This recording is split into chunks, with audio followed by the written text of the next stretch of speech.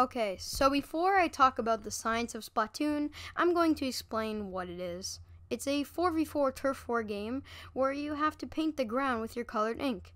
You can pick between different paint guns and customize your character. There are other game modes, to which are Story Mode and Salmon Run, which comes out in the sequel of the game Splatoon 2. Take a look at Turf Wars.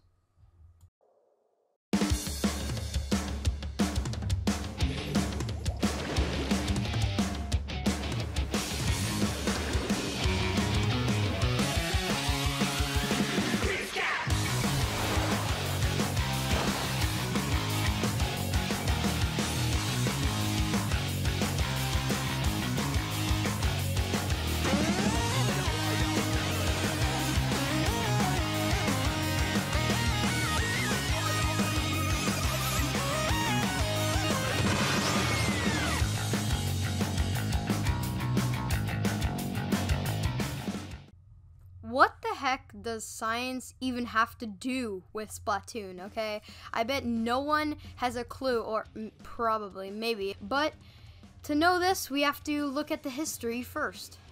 Nintendo first came up with Splatoon in late 2013. They had over 70 game ideas, but decided to focus on inking turf instead. At first, this concept featured black and white blocks of tofu with ink spraying noses. Then they did something else. A rabbit was chosen as the design because when viewed from above, their ears would indicate the direction it was traveling. Eventually, the rabbits were scrapped in favor of humanoid squids, which fit the theme better. Splatoon relates to science by using computer technology.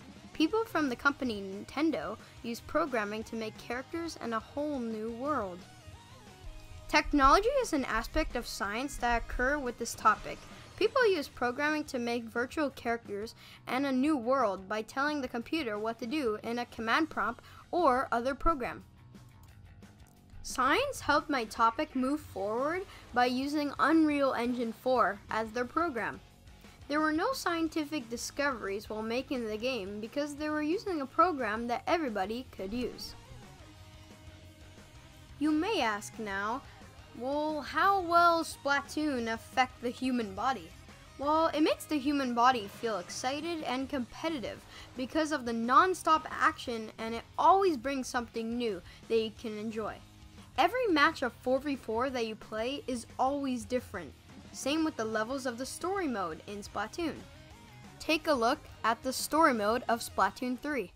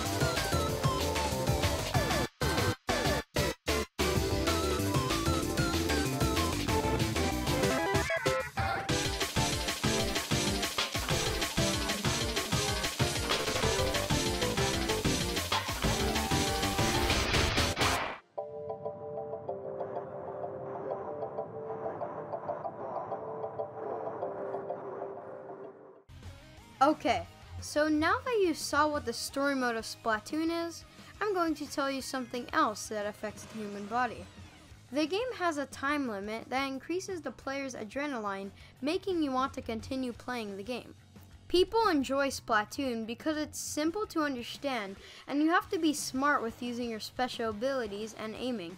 The graphics are nice and a lot of people like the looks of cartoon 3D games. Splatoon makes me feel progressive. Every time I finish a game, I get experience points. And if you get enough, you level up. I love how you can customize your character too because it makes me express myself. Now I will be showing the game mode Salmon Run.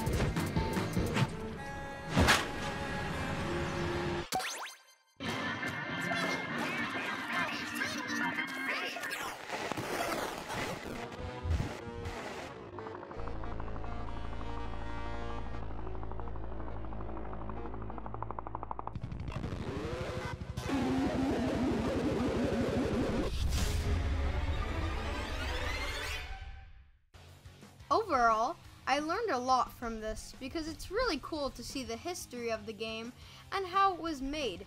My understanding increased by knowing a lot about the game. I hope you guys did enjoy. If you guys did, smash the like button and subscribe. See you in the next one.